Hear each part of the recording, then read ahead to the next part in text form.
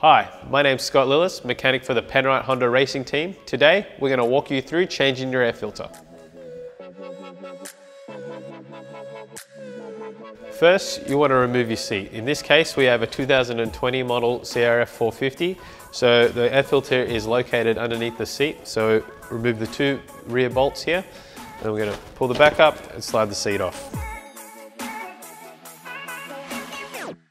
You're going to want to reach into your airbox, undo the screw and pull your air filter out.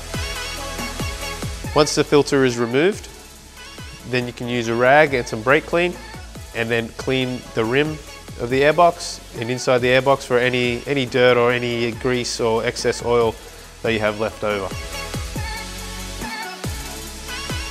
We use Penrite Foam Filter Cleaner. It extends filter life it's super easy and effective and it's water soluble. Uh, the reason why we use foam filter cleaner over petrol or other types of spirits is because it doesn't deteriorate the filter, it doesn't break down the foam and also the glue that holds the filter together. With a bucket, use your Penrite foam filter cleaner, empty her out.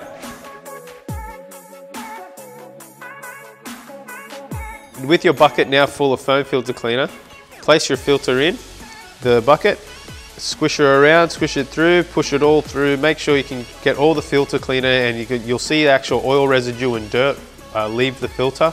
Uh, give it a good hard scrubbing in here. Using a bucket full of clean water, place the filter in the bucket and again, wash thoroughly. The objective of the clean water is to get all the foam filter cleaner out. You don't want to be oiling your filter when it's full of cleaner.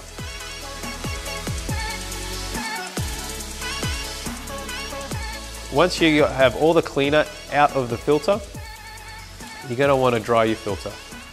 First thing I do is wring it out as best as I can with my hands. Your best bet is to leave it in somewhere that's not in direct sunlight, but somewhere that gets a lot of ventilation and airflow.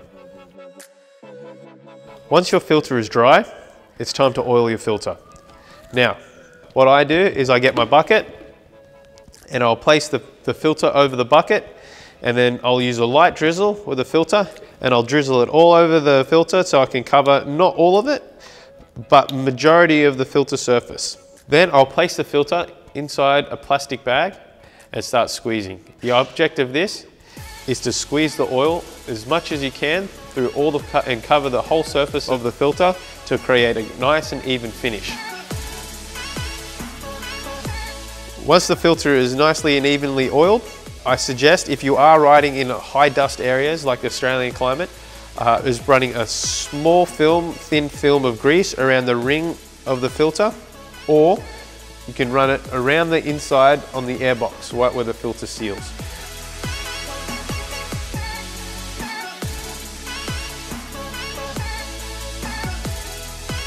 Now it's time to go ride and enjoy it and have fun.